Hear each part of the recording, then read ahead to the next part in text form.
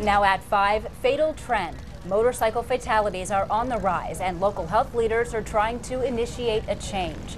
Good evening. The Fort Wayne Allen County Department of Health released its first edition of what it calls Fast Facts today. The hope is to raise awareness of a disturbing trend, the recent increase in local motorcycle fatalities. News Channel 15's Adam Widener looked into this issue for us. And Adam, you say there are some surprising details in this report. Yeah, there sure are. When you think about motorcycle accidents, you may picture young riders, but the highest age group for motorcycle fatalities is in the 40 and over age group and there are some safety trends that are raising some eyebrows.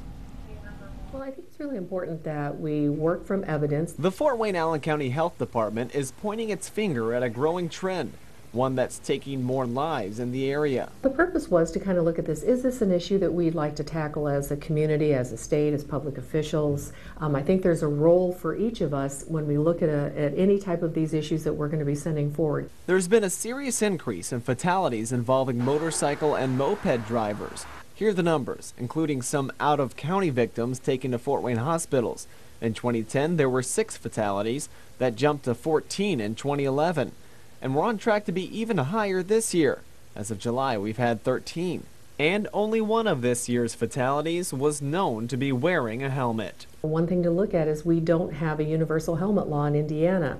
And when you look comparatively at other states that have those, you see a, a big difference in the number of fatalities associated with motorcycle deaths. Trooper Gary Gerardo with the Indiana State Police thinks the solution lies in driving habits for everyone on the road and extra safety precautions toward a rising statistic. Anything that you can do to better your chances, you know, wearing leathers, uh, wearing a helmet, um, increases your chances for minimal or reduced injury.